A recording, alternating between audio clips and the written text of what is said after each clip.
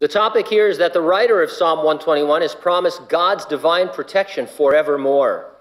The title of our message, Quoth the Righteous Forevermore. Anybody have any idea? Who, who knows what that refers to? All right, you, that's the cultured group. You guys stay on this side, everybody. No, I'm just kidding. Edgar Allan Poe's The Raven. Oh, yeah. Oh, yeah. I read that when I was three years old. That's toddler bedtime story, right? Father, thanks for our morning so far. We've uh, been blessed, Lord, to bring our voices before you in song. You do inhabit the praises of your people. That's a promise. And so we know that you, your presence is being made known in this place in a glorious way. Walk in our midst, Lord, and speak to us between the soul and the spirit where only you can penetrate and where your love can make a difference. Many of us are hurting, Lord, physically, emotionally, economically, and every other way that you can think of. Be comfort to us, Lord, today as you promise. We thank you and praise you in Jesus' name. And those who agreed said, Amen.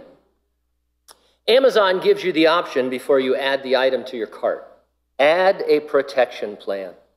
I'm always uncertain if I should buy a separate protection plan for a new device or appliance. Uh, it seems like if I don't, the thing breaks right away, but if I do, the thing lasts forever. And so it's always either a waste of money or I feel like a fool. I find it extremely stressful because that box is there. Am I going to check it or not? Some years ago, I bought a protection plan for a cell phone. I don't want to disparage the company by mentioning them by name, but it rhymes with Horizon.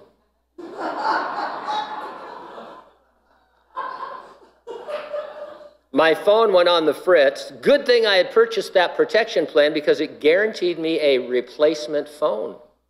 When it came in the mail, I quickly learned that replacement did not mean new. It was a previously owned, much used Motorola flip phone. I think I saw Don Johnson using it once on Miami Vice. And it was so old that it had an antenna. Remember antennas on cell phones? You'd get your phone out and lift the antenna. Man, those are the days. The car I'm driving now, that Toyota CHR with all the rear window decals that make you think I've lost my mind, it's got a three year factory warranty, bumper to bumper. Now it's a lease, so I'm going to turn it in before the end of three years. In stereotypical behavior, the salesman added an extended five year warranty to my invoice. When I caught it, he said, Oh, sorry, I don't know what I was thinking.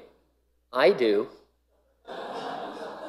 I'm no fool, though I did get the undercoating.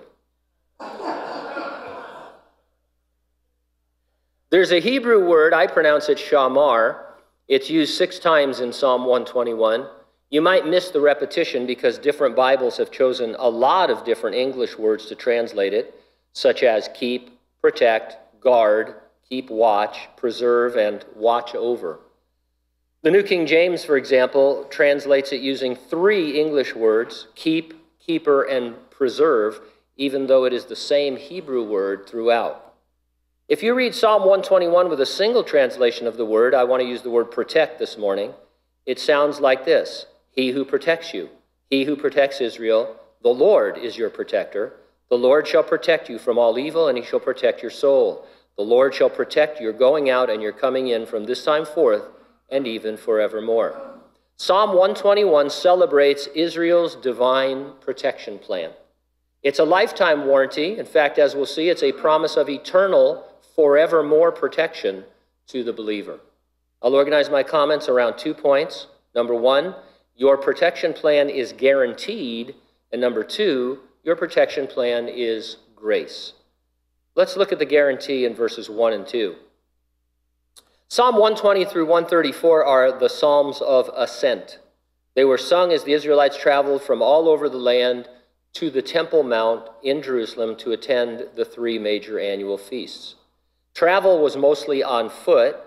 Jesus, for example, for most of his earthly life, would have traveled 150 miles round trip at a speed of roughly 18 to 20 miles an hour to attend the feasts of unleavened bread or Passover Pentecost, and tabernacles. Travel was dangerous, foot travel especially. Parable of the Good Samaritan highlights one of the dangers that from robbers.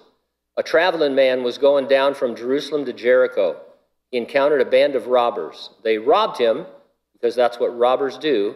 They beat him and they left him for dead. Now, you should immediately raise your hand and ask uh, if the Lord has promised to protect a believer, how is it that the man could be robbed, beaten, and left for dead? Well, regarding his protecting his followers, Jesus prayed for us in the Gospel of John, and we learn a little bit about what that protection means by the words that he chose. He said to his Father, While I was with them in the world, I kept them in your name. Those whom you gave me, I have kept. I have given them your word, and the world has hated them because they are not of the world, just as I am not of the world. I don't pray that you should take them out of the world, but that you should keep them from the evil one. As you sent me into the world, I also have sent them into the world.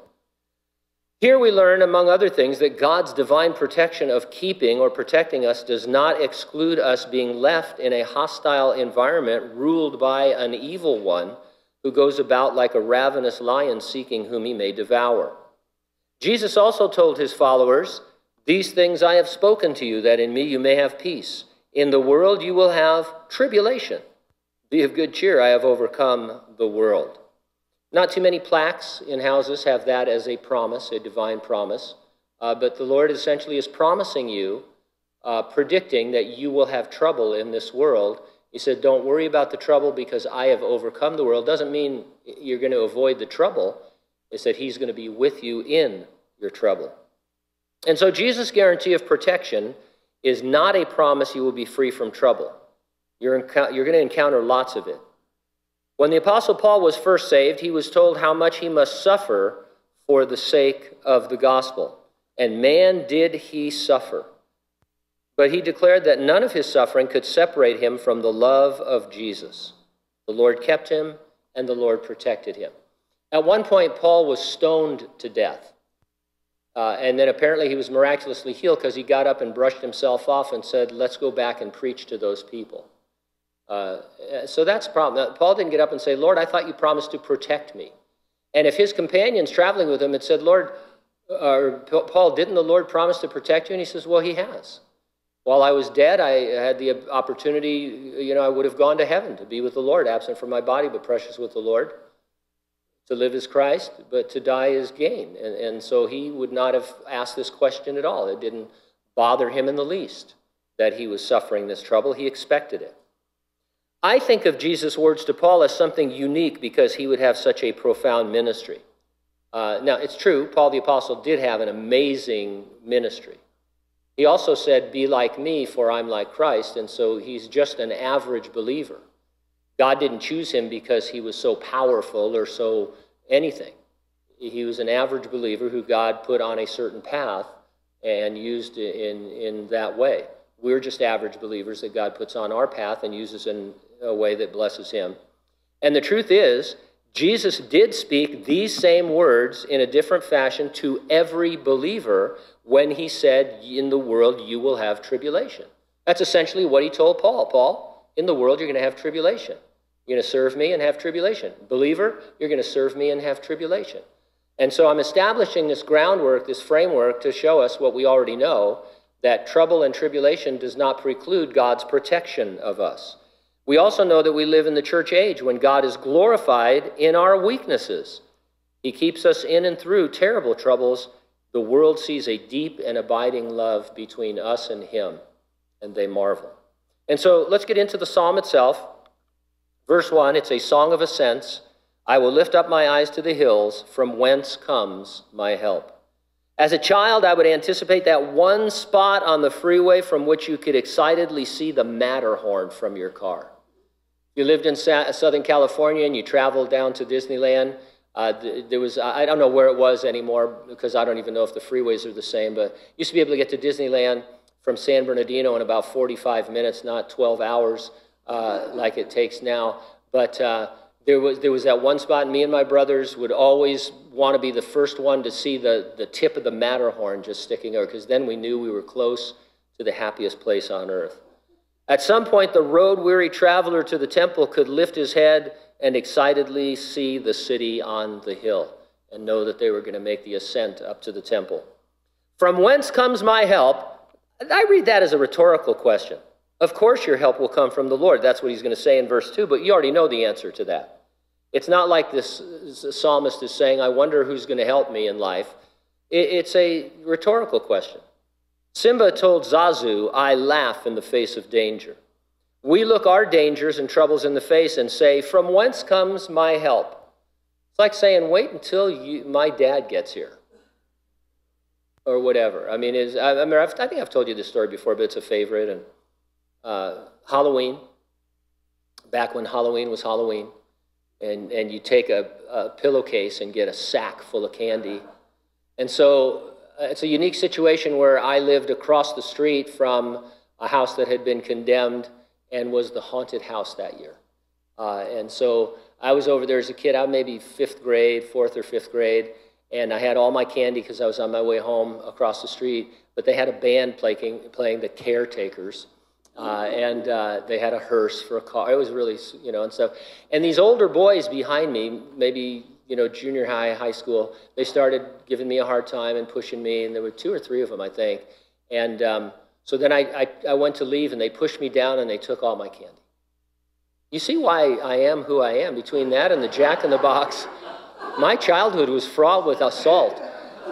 Now, little did they know that I lived across the street. So I ran across the street crying, and my dad and my oldest brother, who was out of high school by then, and my next oldest brother, who was an outstanding middle linebacker for the high school. I, rem- I actually have a memory of this. I remember pointing from the porch right across the street to this group of boys, and then I remember my brothers leaving. And then I remember my brothers bringing back my candy. And I don't know what intervened, but I'm sure it was heinous. Uh, anyway, so it's like that. Uh, my help comes from the Lord. Hey, you guys want to beat me up? I'm going to go across the street and tell my brothers. And uh, I'm going to get my candy. In fact, I have more than my candy back, as I recall. My help comes from the Lord who made heaven and earth. Why appeal to creation here? Well, for sure, it shows God's raw power. If he can speak the universe into existence, he can also help us. But I see something more than power there's providence. This is a reminder that God has always had a plan for creation. He created the universe, created the earth in it, created the Garden of Eden in it, and he put man in it so that we would be loved by him. Because love requires choice, God gave man free will to disobey him. Creation was ruined by that disobedience. But God immediately promised he would redeem both creation and mankind. We would return to his original plan to love him freely, only in the very end with a sanctified free will incapable of sin. And so that's the plan uh, to create man in the garden and have a relationship with him.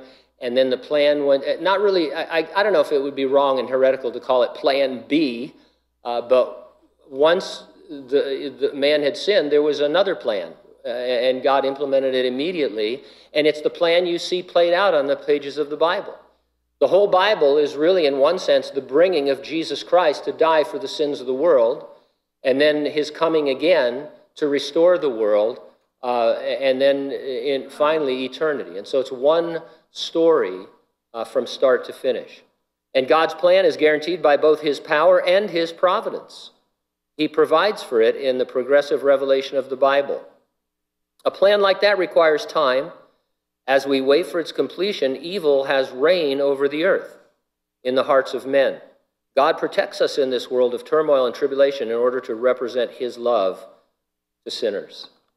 As I've told you many times, because I think it's important, the number one argument people have against God is that if he is all loving and all powerful, which he is, why does he allow suffering? Terrible suffering at that. Uh, you sometimes find these lists of, you know, every 10 seconds, every 50 seconds, every three minutes, something heinous happens around the world. You hear all the time in media, usually the believer has no response, or a weak one, like God works in mysterious ways. Really annoys me when I'm watching TV or a movie and, you know, there's somebody who's quasi religious or is talking about believing in God, and then the, usually the main character just goes on a tirade against God I mean, it's obvious there can't be a God or that he's a tyrant if he would allow this kind of thing to happen. I always want to jump into the TV set and say, He's allowing this to happen because he's waiting for you to get saved. Because I'll tell you what's really harsh you going to hell for eternity, perishing in your sins. And yeah, I know the world is, you know, is evil and wicked and terrible, and the, the sum total of it blows your mind, but not compared to losing a soul for eternity. And so the answer is this God allows suffering because he is long suffering, not willing that any should perish, but that all would come to eternal life in a relationship with Jesus. Uh, the shorter version of that is God's long suffering waits. And, and that's what is going on. God, as I've told you many times, He could pull the trigger on this thing and it'll be over in seven years plus a thousand years. But He's waiting patiently. Maybe He's waiting for you. Meantime, God's protection of believers is guaranteed. Doesn't mean you won't be robbed on the road homeward. Means that, like Job, if you are, you'll say, Though he slay me, yet will I trust him. My favorite trio from the Old Testament Shadrach, Meshach, and Abednego. When threatened with being executed in the fiery furnace, they said to King Nebuchadnezzar, Our God, whom we serve, is able to deliver us from the burning fiery furnace, and he will deliver us from your hand, O king. But if not, let it be known to you, O king, we do not serve your gods, nor will we worship the gold image which you have set up. They saw no contradiction in God's protection one way or the other. They said, Look, God will deliver us. He will protect us through delivering us, or He won't, but it's still His protection. There's nothing you can do to us to make us worship you rather than the living God. Because the only thing you can do is torture and kill us, and we don't care. Because that is the greatest thing, uh, the, in one sense, a great moment of protection. And probably some of your people will get saved when they see uh, the martyrdom that you bring upon us. It's a win win either way. Your protection plan is grace. We defer to folks who are experts in their field. Their knowledge and experience puts things into a proper perspective. Pretty much every A list Bible character is an expert in tribulation and suffering. A great summary statement is found in the chapter of the Bible we fondly refer to as the Hall of Faith, Hebrews chapter 11. I'll read a portion of it. Uh, believers through faith subdued kingdoms, worked righteousness, obtained promises, stopped the mouths of lions, quenched the violence of fire, escaped the edge of the sword, out of weakness were made strong, became valiant in battle, turned to flight the armies of the enemy. Women received their dead raised to life again. Others, of course, were tortured, not accepting deliverance, that they might obtain a better resurrection. Still others had trial of mockings and scourgings, and of chains and imprisonment. They were stoned, they were sawn in two, they were tempted, they were slain with the sword. They wandered about in sheepskins and goatskins, being destitute, afflicted, and tormented. The world was not worthy of them. They wandered in deserts and mountains, in dens and caves of the earth. Admittedly, the idea that being sawn in two is protection sounds like a hard sell. Hey, Isaiah, you're going to be sawn in two. They think it refers to Isaiah, or he was maybe pulled apart, you know, in the way they used to with horses. Oh, anyway. And, but and you know, but the thing is, I guess what I'm saying is, if you had said to Isaiah, Isaiah, what do you feel about God's protection? You know, your your Channel Seven News. You know, Isaiah, you're about to be pulled apart by two horses, or the, they're sharpening the uh, the saw and they're going to cut you in half at the waist. How do you feel about God's protection now? He would say, "For me to live is Christ, but to die is gain." Well, he wouldn't say that, obviously, but he would say something like that. There was no way he would say, Well, I was hoping for some divine protection, but I guess I'm on my own. I'm beside myself, wondering. you get what I'm saying? He will not allow your foot to be moved. He who keeps you will not slumber. Behold, he who keeps Israel shall neither slumber nor sleep. Notice the change of speaker. The remaining verses are spoken to the traveler. Perhaps a fellow pilgrim comes along and ministers to the first. Uh, as a device, it helps draw us into the action. It, it um, makes us feel that we're there being spoken to as well. They are a lyrical, poetic way of describing the Lord's protection along the road home. Obviously meant for the pilgrim headed for Jerusalem, but not without application for us because we are pilgrims headed for the New Jerusalem. The Ford Motor Company used to have a tagline, maybe they still do quality is, quality is, job one. There's always somebody in this section that's, if you want to get smart, sit over here. Quality is job one. Your sanctification, your becoming more like Jesus, is job one with Him. He began a good work in you, and He will be faithful to complete it. He will not allow your foot to be moved. I read this and the following promises and conclude that the road will be well maintained, clearly marked, and without danger. We've seen already that's not true biblically in the life of the believer, and the Bible isn't contradicting itself. And so, over all of these promises, I would write the famous, inspired words from Mike Tyson. I've used this before, I love it. Everybody has a plan until they get punched in the mouth. Your plan needs to be tested and proven. When I was younger, much younger, I was 17 years old, my brothers and I uh, were involved in Taekwondo. And I, I never got to black belt. I think I was a red belt, which was their version of a brown belt. I was thought I was pretty good, you know. I could throw white belts around like crazy and stuff. And so, uh, I mean, I wasn't cocky, but I thought I had really achieved something. But, you know, you, you got to test yourself a little bit. And so one day, our sensei, our instructor, brought his master from Korea, Pak Bukwan. Five foot six. He had a haircut like Moe from the Three Stooges. Really gentle, nice guy, though, only spoke Korean. And he wanted to spar with us to see what our level of uh, death was, I guess. But anyway, and so we're sparring, and of course, you know, you know, bam, you're doing your thing, and, and kicks and punches, and he's just hardly moving and deflecting everything. You can't get near him, you can't touch him. I did a spinning back kick, and the next thing I know, he was holding me. Uh, he, I was off the ground. And he wasn't right. I mean, it was just, you know, and he, he wasn't being weird or anything. He was just doing that. And then all of a sudden, while we're doing all this, he goes, side the kick. Boom! While I was still thinking about what it, boom! he kicked me in the side and out of the ring. And so I thought, you know, I have a ways to go uh, before I can think that I, you know, my plan was okay until I got punched in the mouth. And then I figured out what was really happening. I can't be certain God is faithful to keep me from stumbling unless I encounter stumbling blocks in my path. It's theoretical until I get punched. I might have a glass jaw, all the while I think I can't be knocked down. Those of us in Christ love to quote 1 Corinthians 10:13, "No temptation has overtaken you except such as is common to man. God is faithful, who will not allow you to be tempted beyond what you are able, but with the temptation will also make the way of escape that you may be able to bear it."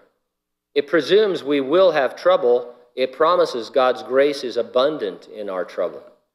The Lord is your keeper, the Lord is your shade at your right hand. The sun shall not strike you by day, nor the moon by night.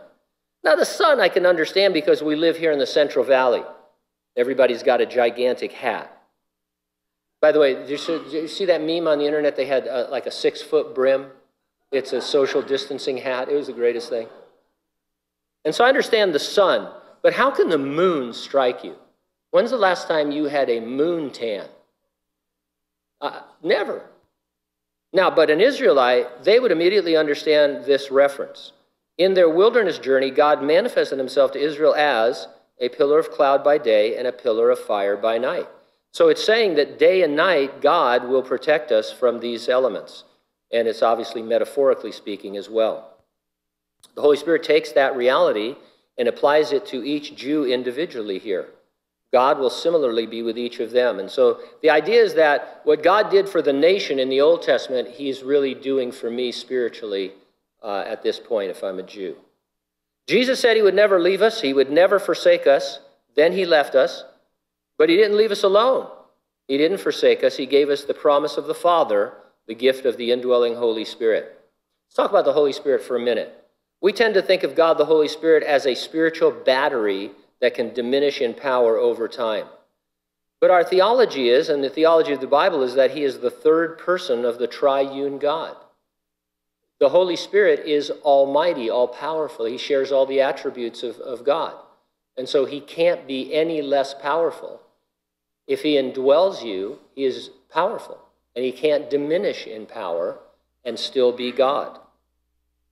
Now, while that's true, we can experience refreshings of the Holy Spirit, but he is always at maximum strength. In the book of Acts, we read this, and when they had prayed, the place where they were assembled together was shaken. They were all filled with the Holy Spirit, and they spoke the word of God with boldness. We tend to look at that as a fresh filling of the Spirit or as if they needed more of the Spirit. They had just healed the lame man, uh, they uh, had just been arrested, and they had just been warned by the Jewish leaders to quit talking about Jesus, and they met it all with boldness. And now they prayed really not for boldness to do that, but just that they would ha- keep doing that in the boldness they already had. That's how I read that. And so we, we just need to get out of this idea that we can ex- exhaust the Holy Spirit. You old comic book fans will remember the JSA, the Justice Society of America. Anybody remember the Justice Society of America? You would have read about it in the Justice League comics where they had a second Earth encounter with the Justice Society. Crossover?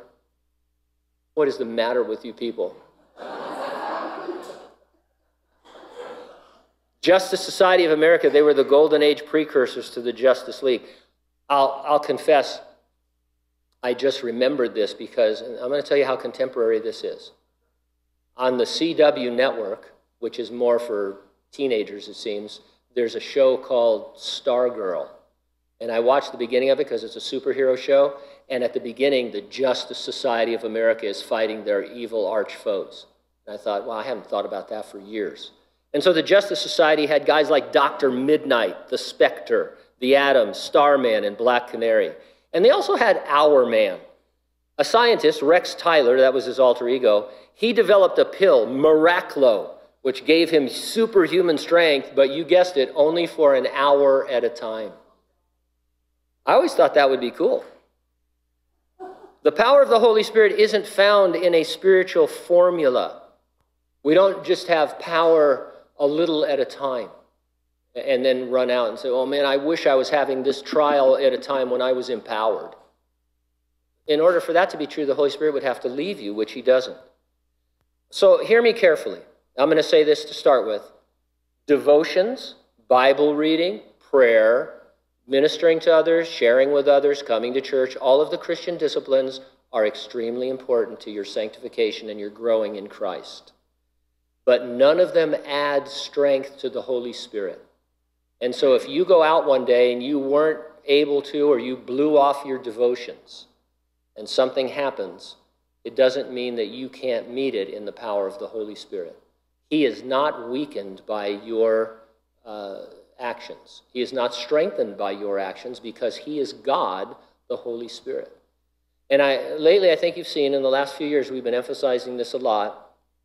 You need to know who you are in Christ and, and know that you are capable of doing all things through Christ who strengthens you. And, and that happens in the ministry of the Spirit. And so the Bible, you know, we, for years we've also been saying that God's Word is God's enabling.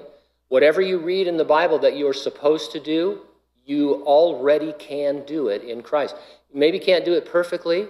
Maybe you're a red belt instead of a black belt. Uh, but God will show you that, and He will continue to hone you into His image. But you can do it. You can avoid sin. Uh, you don't have to give in to these various things. You can save your marriage and all.